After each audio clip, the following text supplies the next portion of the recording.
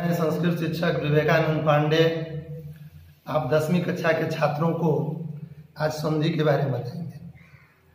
इसके पहले हम लोग संधि में व्यंजन संधि पढ़ रहे थे। व्यंजन संधि के कई भेद को हमने पढ़ा। आज हम व्यंजन संधि के कुछ और अन्य भेद को पढ़ेंगे, जिसमें सबसे पहले अनुनासिक संधि।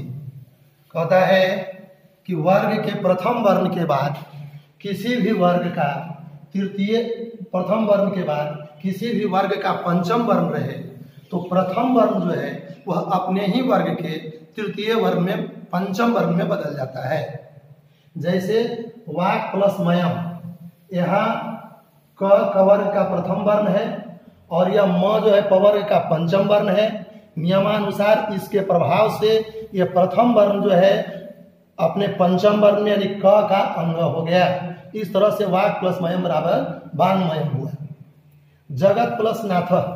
जगत में त जो है, यह तवर्ग का प्रथम वर्ण है और न जो तवर्ग का पंचम वर्ण है।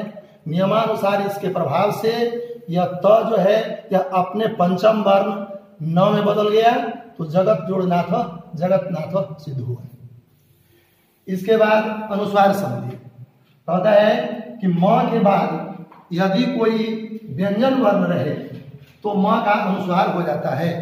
जैसे सम जोड़ वेदना संवेदना यह म है और म के बाद व्यंजन वर्ण वह है, नियमानुसार इसके प्रभाव से यह म जो है अपने पूर्व वर्ण पर अनुसार हुआ। सम प्लस वेदना संवेदना इसी तरह से सम प्लस सार म म के बाद व्यंजन वर्ण स है। इसके प्रभाव से म का अनुसार हुआ सम प्लस संसारक संसार सिद्ध हुआ।